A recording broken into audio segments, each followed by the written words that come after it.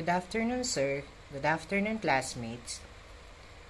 I am Miguel Magno, Bachelor of Science in Psychology. Our topic is all about um, combining bottom up and top down processing and how can I relate the topic to the given movie entitled Top Gun. Bottom up processing is a type of information processing based on incoming data from the environment to form a perception. From a cognitive psychology perspective, information enters the eyes in one direction, sensory input or the or the bottom, and is then turned into an image by the brain that can be interpreted and recognized as a perception.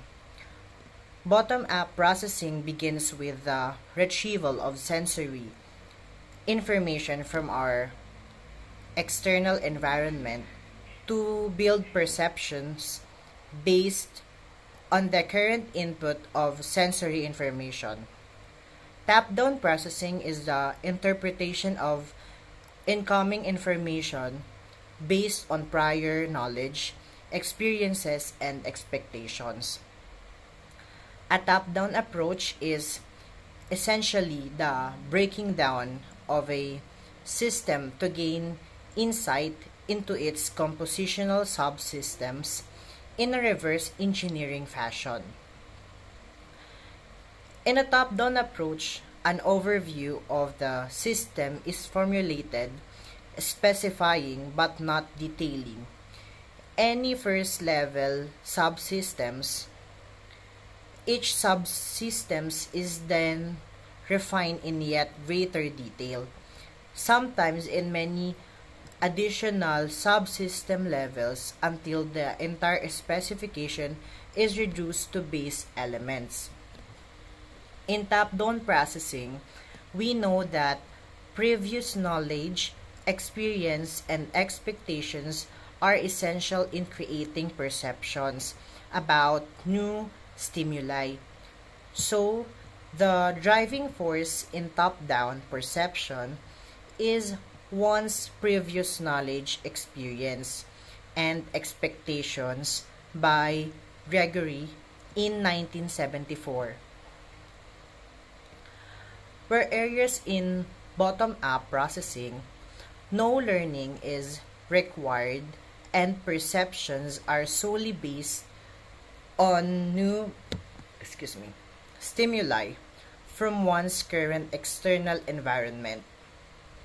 Meaning that the driving force of perception in bottom up processing is the stimulus that is currently being experienced within one's external environment in Gibson in 1972.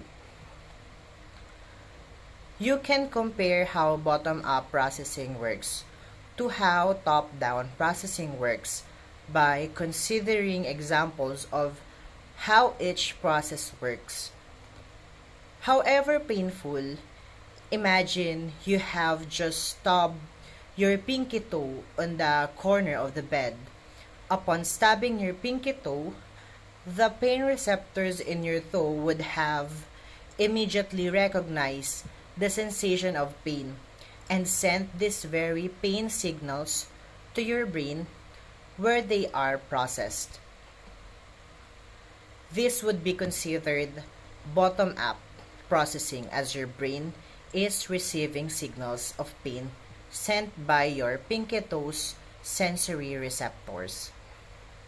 However, now that you have experienced the horrifying pain caused by stabbing your pinky toe, you are now extra careful to avoid the corners of your bed because you remember how painful that experience was and do not wish to repeat it which would be an example of top-down processing.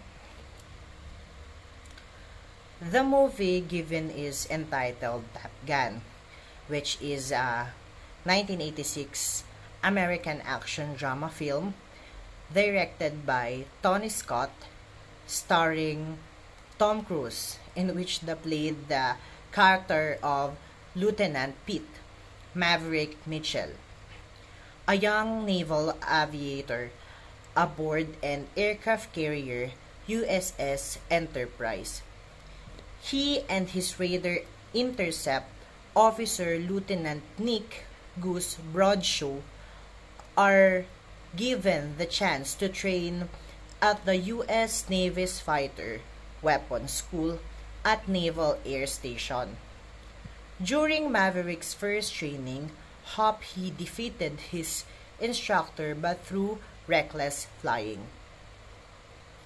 Maverick also becomes a rival to top student Lieutenant Tom Iceman Kazansky, who considers Maverick's attitude foolish and his flying dangerous, as Maverick's tendency to abandon his team and pursue reckless objectives makes him unsafe to fly with.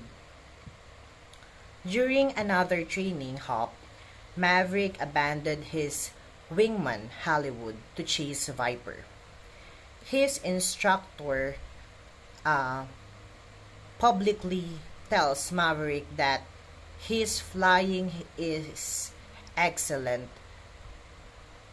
but that he should never leave his wingman. In another training hop, Maverick's aircraft suffered a flameout on both engines. Maverick and Goose eject, but Goose hits the jettisoned aircraft canopy headfirst and was killed. In relation to the week's topic, which is the top-down and bottom-up processing, although the board of inquiry cleared Maverick of responsibility for his wingman Goose's death, he is overcome by guilt and his flying skill diminishes. Maverick continued to harbor regret with with what happened to Goose. So much so that he even considered walking away from the Navy. It was a defining moment in the film as it functioned as a turning point for Maverick, who always had a devil may care attitude when it comes to flying. Same with the example earlier of stopping your toe. The pain receptors in Maverick recognize the sensation of pain and sent these very pain signals to his brain where they are processed. Now that Mavericks experienced the horrifying pain in Goose deaths in the end of the movie, he became extra careful and cared for his wingman which was Iceman in their tandem session by not abandoning his wingman. And that's all for today. Thank you and God bless.